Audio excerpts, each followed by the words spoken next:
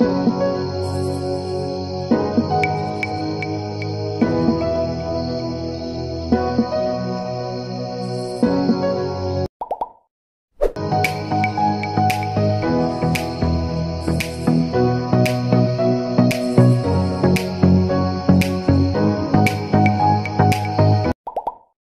Guys, jadi di video kali ini kita bakalan bikin kue tiaw goreng seafood. Nah, bahan-bahan yang kita butuhin adalah pertama di sini ada kue tiaw, terus ada kecap manis, kecap asin, garam, totalnya kita pakai secukupnya.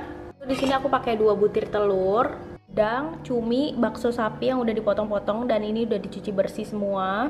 Lalu di sini ada daun bawang yang dipotong-potong seperti ini. Siung bawang putih yang udah dicincang-cincang.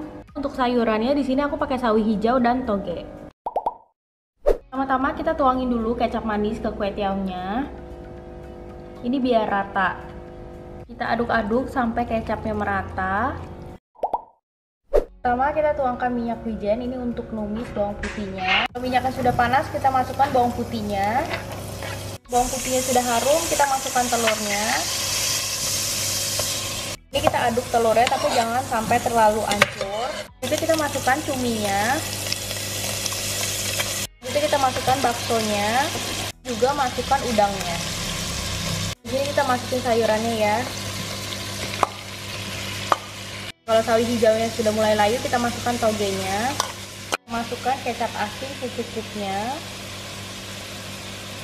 Kita masukkan kue tiaunya. Selanjutnya kita masukkan garam secukupnya. Dan juga kaldu jamurnya secukupnya. Kita aduk-aduk sampai merata yang terakhir kita masukkan daun bawangnya. Kita aduk-aduk lagi ya. Sekarang udah matang, siap untuk dihidangkan.